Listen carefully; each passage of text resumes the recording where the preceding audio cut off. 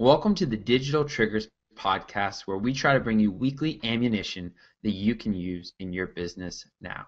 I'm your host, Sweeney, and today we bring on Spencer Shaw, who is the founder of Podkick.com and the Business Growth Podcast. Now, Spencer is really going to school us in the podcasting world. And the main things that we're going to focus on with this podcast are two audio tricks that can greatly improve the audio of your podcast or any audio recording that you do. One of them is extremely simple, and I've never heard of it before, and it's using a free software. Definitely worth listening to. Also, he's going to go over what kind of guests he likes and how he brings them on board, as well as how you can score guests using high value feedback. Really focused on podcasting with this weekly ammunition? Check it out. Just go through. A big tip is before you start recording, leave a good five seconds of clean, dead air. So, like, or at the very end, leave a good five seconds of clean, dead air. Because there's every room has a sound to it. So, once you've got that gap, that clean dead air where no one's talking but it's got the ambient noise, you go into Audacity and go to the noise remover and you can take a sample of that clean dead air and then you say, okay, here's what the room sounds like. Now you select the entire track and you say, take all of that away. And so all of that, you know, like when you record on a laptop, you get that like really hissy sound, like a gain and you can tell like you're on a laptop kind of sound. Audacity will take all of that away just by that simple move. And then you go through and then normalize it and then compress it. So it takes your file from being like really flat and thin to like beefing it up. And then the biggest things are like improving the equalization, the EQ. So what makes your voice sound better is the bass. And especially like for your microphones, if you have a microphone you like if you're using a headset, you want the microphone to be below your lips, almost at your jaw line, and you want your microphone to sit below you as well because you get a a, a, a deeper sound out of your chest cavity and from your jawline coming out. Whereas if your microphone's up higher, it's going to be really nasal sounding. So what you're going to do is you go into Audacity and you're going to find your you're like five seconds of dead air. You select it. So you highlight that, and then you go to noise removal. And then you're going to get the noise sample. I believe that's what it's called. And so it's going to sample what that sound is. And then you go through and then you select the entire track. And then you do the noise removal. And then you uh, apply the settings that you already uh, created with that sound preference is I I personally love the people that most people don't know about because and that are getting real life results. Not necessarily that they're a good teacher, but I want to know about the results so that I can take their framework. And so I'll, I'll use Scott Paul for example. Uh, I interviewed him. I doubt anyone on on our conversation knows who Scott Paul is. But Scott created a company called Armor Interactive. And if you've ever been to any trade shows, like CES or any trade show, and you've seen those iPad enclosures, you know, like those metal cases that an iPad sits in, he invented that and he created that. The company is worth millions upon millions of millions of millions of dollars. I mean, he's got a ton of employees. I've been through his factory. It's awesome. And I love meeting with people like him and hearing how he built that company and what he did, and he actually recently exited and sold that company. And now he's working uh, on a project with uh, some billionaires, like some Russian billionaires. It's pretty awesome. um, so it's that kind of stuff. That's what I really want to know. Now, how do I find those people? Well, um, TechCrunch, Hacker News, that's where a lot of interesting people are. Uh, it's people that I associate with. And so I ask friends, who do you know that's really interesting that I don't know? Or who do you know that's really interesting that most people don't know? I want to know that kind of stuff. Because, you know, getting on the, the most guests, you know, like the doing the rounds, you know, like you've done like I, I've done it enough that I'm like, oh, yep, here's story number one. Let's hear it. Okay, and and they get to be the point like they want it very scripted. Like you need to ask me these questions, and here's what I'm going to promote. And you're like, oh, I really don't want to do this.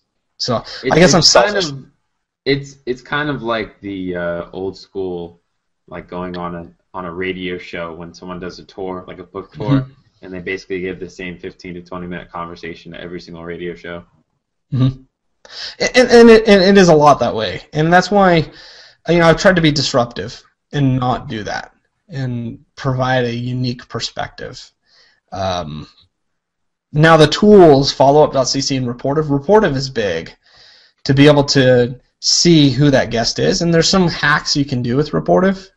Rapportive is a Gmail extension for everyone that doesn't know, and what you can actually do is you can guess, like say it's a person that is really hard to get in touch with or you're not connected to them, you can guess what their email address might be. And you can type it into Rapportive and their profile will show up. Now you've got their real email address that's connected to their Facebook and their Google and LinkedIn. Um, but overall, the very best way to get guests is to get the implied endorsement. You know, that's back to Cialdini's influence. You know, if, if you know someone that I if you know someone that I want to interview, it's going to be far more leveraged and happening if I go through and say, "Hey, Sweeney, can you introduce me to this person?"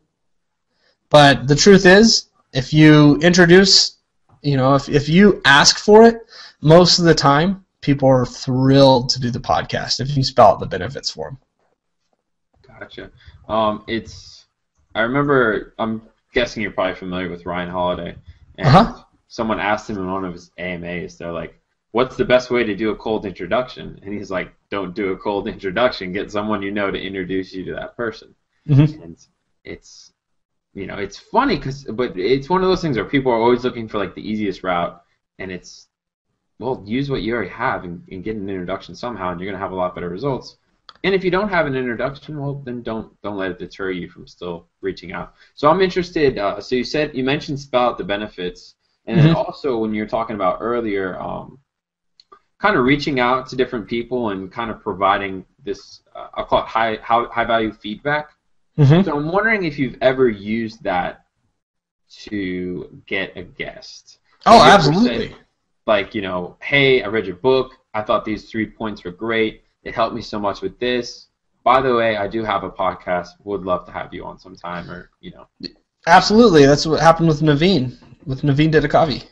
Um, we're in a group together, and he was explaining, you know, he was helping a lot of different people answering questions, and so I messaged him and I said, hey, um, and I, I specifically listed out what he did, uh, what he I said here is the um, answer you gave, and here is what I took action on and then here's the result I got. I really appreciate it.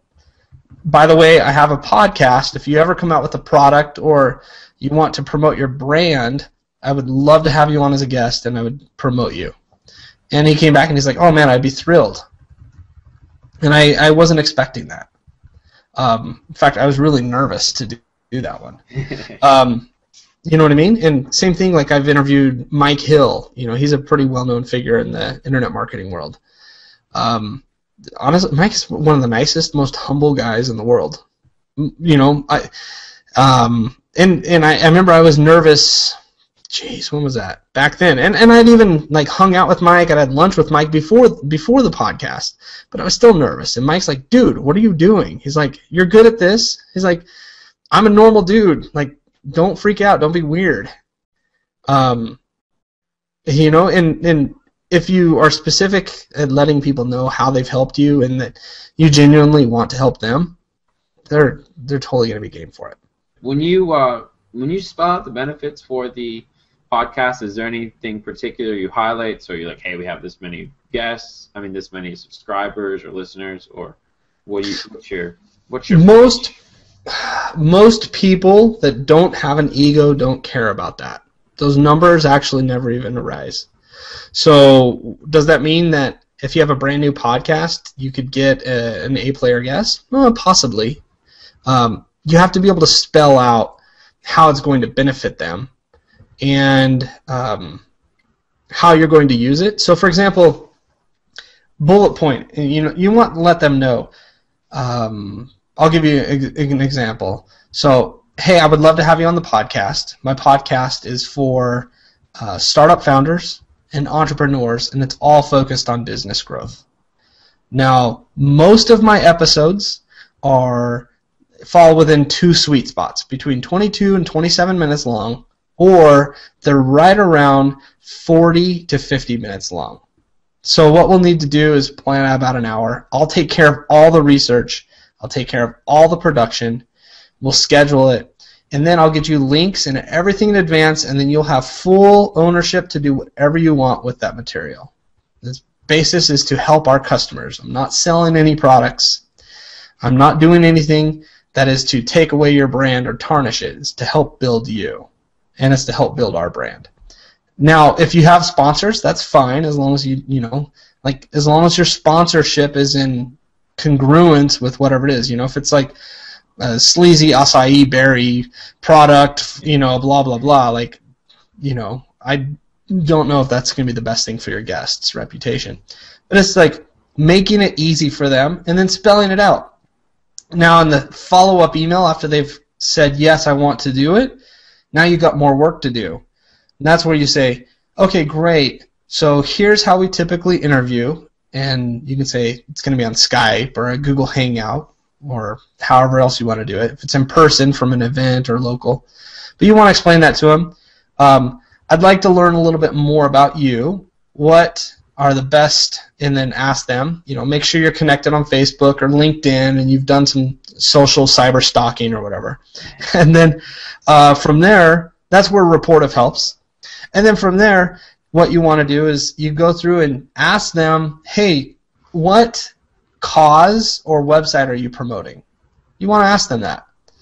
And you don't, and this is, I screwed up at the beginning when I first did podcast I'd be like, oh, well, how can they learn more about you? Blah, blah, blah. And you shouldn't do that. You should say, hey, you know, this is, you know, his website. Go here. And um, another thing is like, ask them, do you want people to communicate with you through email? Is it okay if I say your email address in the podcast? Do you want people to communicate with you on Twitter? What's your Twitter handle? Things like that. So just it's taking out all of the mystery and doing all the work for them. And then you showing that you've done your homework.